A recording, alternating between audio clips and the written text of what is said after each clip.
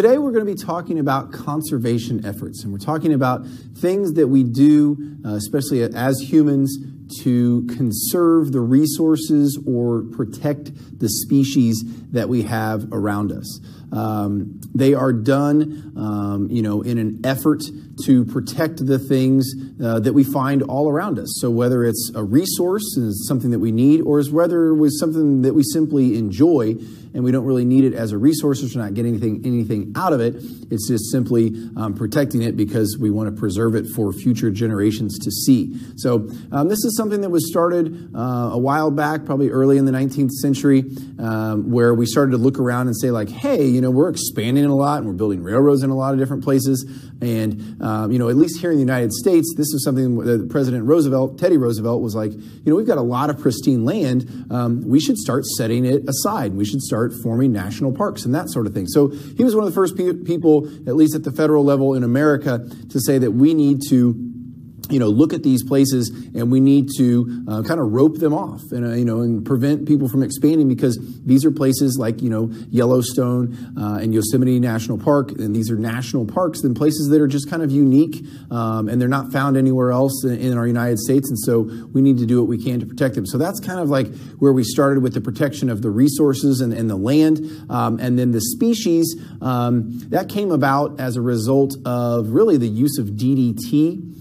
Um, DDT was a pesticide that was used. Uh, a book was written uh, called Silent Spring, which basically theorized, uh, the author Rachel Carson theorized that if we continued to use DDT, then we would have a, a spring where we woke up and there were no songbirds. Uh, DDT has an effect where it weakens the shell of birds. Uh, but anyways, that's where people started to take notice, and that's where uh, what, what really took people's notice, especially in the States, was that the birds that it affected the most were American bald eagles. And so, as being our national bird, people were very concerned about that. And so, that uh, and their eggs disappearing led to uh, the enactment of the Endangered Species Act. And so, we have the endangered species list. Uh, and so, we really started to look at it. And, and, and it makes sense from a standpoint of you know, when you look at an ecosystem as a whole, you have all these moving parts, and you really don't know all the interactions that happen between every single organism. So to, to remove one, may, it may seem as simple as like, oh, it's just this certain species of tree. There's lots of other trees. But if it's a tree that just so happens to be,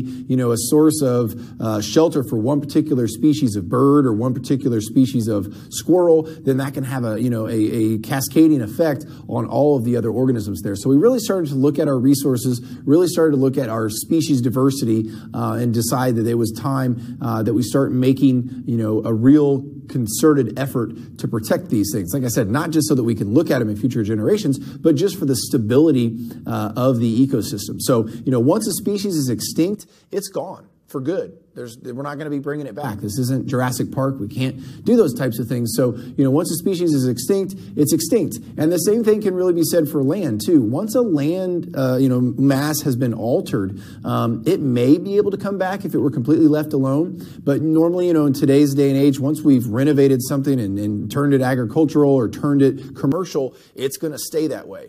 Um, and so, you know, we had, like I said, we have this beautiful, pristine land um, all around us. And we said, you know, we should really set these aside and, and not allow, uh, you know, mining or commercialization or residentials. You know, none of the national parks, we don't have people living there in houses and things like that. It's just kind of a home for all of the natural organisms uh, that make their home there you know, obviously with whether it's expansion or whether it's just, you know, people needing a place to live or whatever, um, those are problems. But in addition to those, we as humans also have a little bit of a problem with the waste that we create, right? So we have pollution that goes into the air, into the water. Um, so that's a problem that creates a lot of problem for a lot of these lands. So we wanted to make sure that when we were protecting them is not only that they, we weren't cutting down trees, but we also weren't introducing any type of pollutants. We didn't want to pollute the water. We didn't want to pollute the air.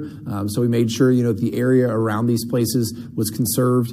Um, you know, we wanted to make sure there's no foresting happening. Um, you know, we're not logging for lumber or anything like that in these areas. Uh, like I said, these are natural resources that we rely on, but there's plenty of other places um, throughout the country where we could get um, these types of resources uh, when we need them. And, and like I said, we really started to look at biologists and ecologists really started to look and say, look, you're cutting down trees to get wood, but you're also cutting down the homes of a lot of different species species. Uh, these organisms, um, they live in trees, and when you remove all the trees, their homes are gone. So it was, it was uh, you know, high time that we decided to do that. And we also understand that biodiversity, that variety of life, makes um, an ecosystem stronger right? Um, and it also, like, we rely, you know, as humans, as we've talked before, we rely on the biodiversity. I mean, the clothes that we wear are made from plants, and the houses that we live in are made out of wood, and, you know, even the cars that we drive come from, you know, fossil fuels are powered by them. So there's a lot of different things that we rely on. So it's, it's not only just for the preservation of future generations, but it's in our best interest uh, to set these things aside and to preserve them. So, all these conservation efforts are attempting to uh, reverse these effects that are caused by pollution or expansion, and then if we can't reverse them, at the very least preserve uh, what we have without doing any more harm right? Um, one type of conservation effort um, is protecting individual species. So there's a lot of different ways we can do this. One of the most effective ways is to put that species on the endangered species list.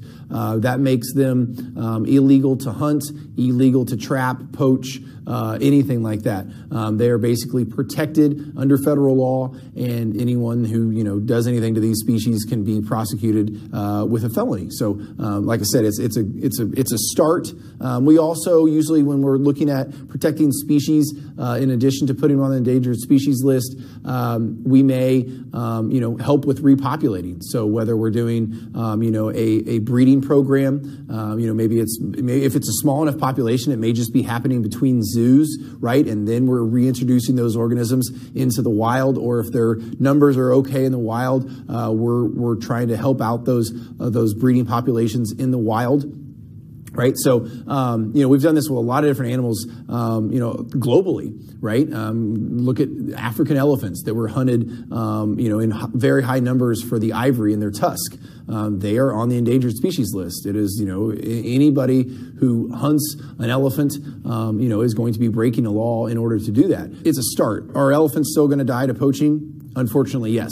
Um, there's, there's, you know, people have found ways around that and that sort of thing. But uh, as it exists, uh, they, it shouldn't be happening to, to protect those elephants. Because, like I said, there's, you know, you, you think uh, you know, there's there's thousands of elephants, and that may be true. But if you know, if if you know, hundreds of them are allowed to be hunted every year, it doesn't take long for a population to dwindle down, right? Because if everybody goes on a hunting expedition says, "Well, I would like to shoot an elephant," uh, you don't have an infinite number of elephants. So another effort uh, is repopulating a species. So uh, that's something that really uh, the Association of Zoos and Aquariums is really good about.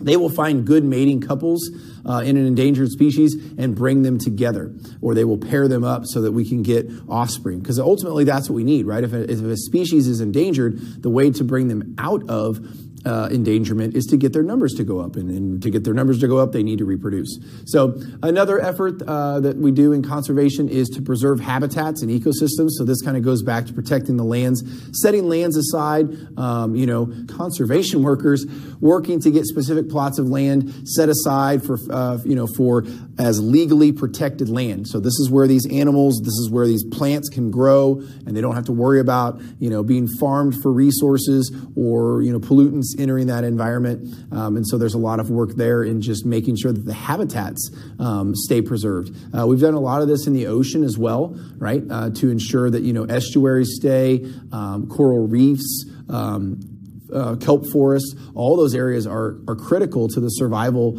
of, of marine life. And so we do our best to, to make sure that they are preserved.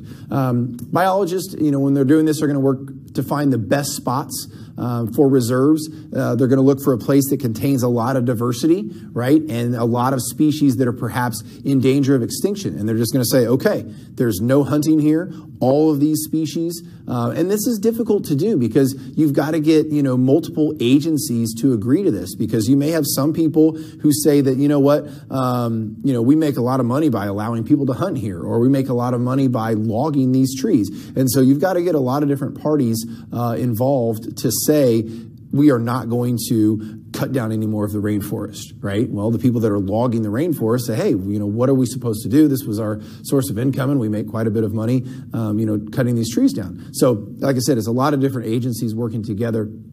Here in the United States, we have our national parks, uh, like I already mentioned, um, and we have, you know, forest, natural forest, and we have a lot of protected areas. But again, that wouldn't have been done um, if we hadn't started when we did. Because again, we were at a time when uh, Roosevelt was in office that we were expanding really, really quickly. And fortunately for us, he had the foresight to kind of say, you know, we, we need to set aside these large chunks of land um, so that people um, don't screw them up. so um, a big area of conservation is containing the pollution and destruction that's being done. So you know that's a fight every day. To you know it, it, it's a it's a difficult fight because uh, you know in order to produce the the resources and things that we need, uh, you know we there there has to be some type of of you know process or manufacturing going on. It's just finding the best solutions that benefit both people and the organisms living in those environments. So many organizations and governments are wanting to change policies on what industries can use and produce. And so, like I said, that's a that's a big um, component of this conservation is is getting the laws changed to say, look, you can't put this into the environment, or you can't use this particular product because it harms this species. So again, it's it's kind of getting all of those parties to agree. Um, so things like lowering carbon emissions, uh, the amount of water that certain products use, right? Water is not a, a finite resource. Um, polluting the water, uh, just protecting those ecosystems from destruction in general. So um, a lot of times now what we can do to incentivize groups uh, is the government can offer tax breaks to those who lower their carbon output or that use different sources of energy. So that's one they, you know, and, and it works out well. As, you know, the company may spend more building a building, but if they're getting tax breaks, uh, they're helping their environment and they're paying less in taxes because they've decided to, you know, um, input some of those green um, choices into their into their building or into the infrastructure of their business. So no matter what it is, these conservation efforts are important uh, into preserving uh, the biodiversity that we see here on Earth. I'll see you next time.